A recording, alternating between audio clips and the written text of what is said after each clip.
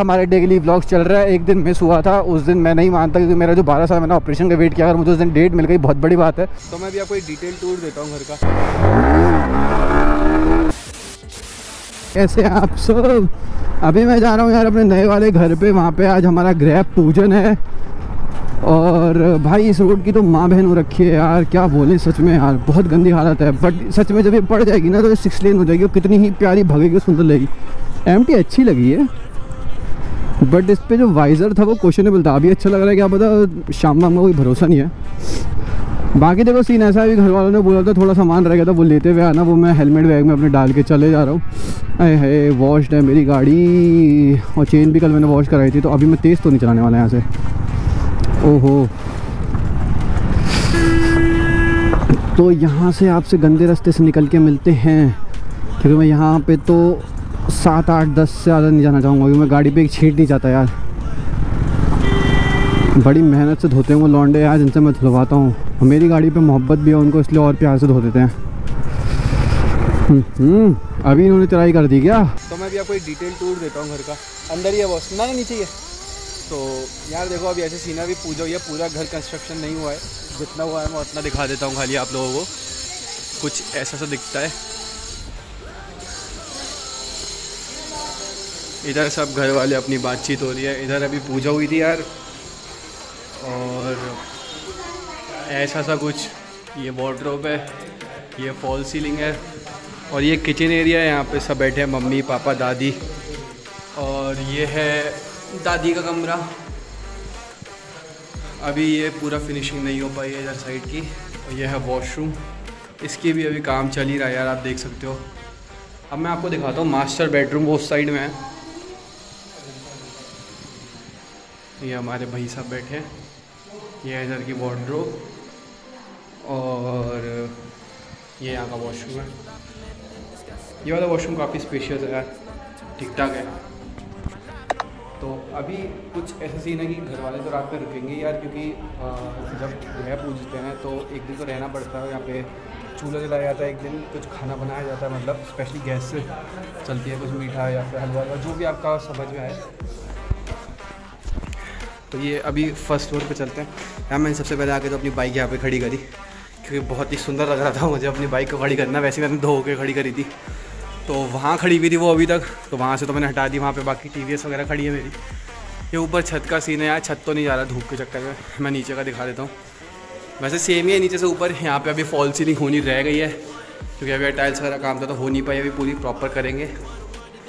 ये है मेरा कमरा, ये रही इसकी फॉल सीलिंग और आई मतलब ये बहुत फिनिशिंग का काम है दो तीन महीने लग जाएँगे। ये वॉशरूम में टाइल्स लग गई है मैं पहली बार ही देख रहा हूँ अपने घर में। ऊपर मैं आता नहीं जाता ना ये हमारे बड़े भाई साहब का रूम इसकी फॉल सीलिंग कुछ ऐसी दिखती है। मैं भी कुछ ऐसी कराना चाह चाहता है बट वो मिस कन्फ्यूज़न में थोड़ी गलत तो हुई मेरी।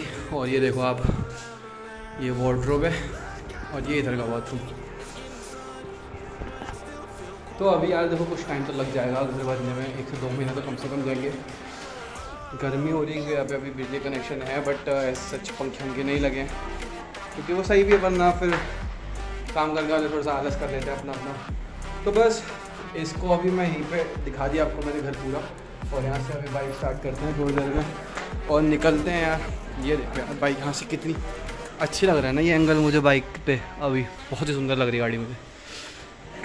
तो अब हम भी थोड़ी देर बैठ जाते हैं घर के अंदर एंड निकलते हैं फिर यहाँ से। तो भाई चलो निकलने का समय तो यहाँ से हो चुका है। गाड़ी देख रहे हो ज़रा सी देर में ये ये।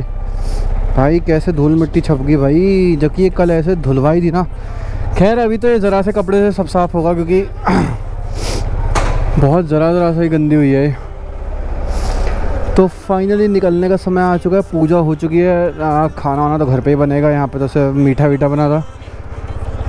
और ये लोग भी अभी घर ही आ जाएँगे।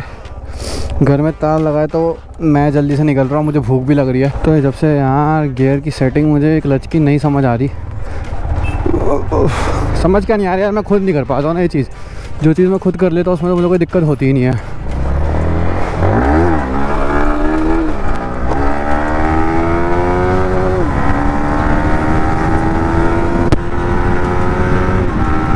जल्दी चलना पड़ेगा भाई, क्योंकि भूख बहुत तेज़ लग रही है प्यास भी। गियर चेंज हो जाता है प्रैक्टिस करनी पड़ेगी मुझे।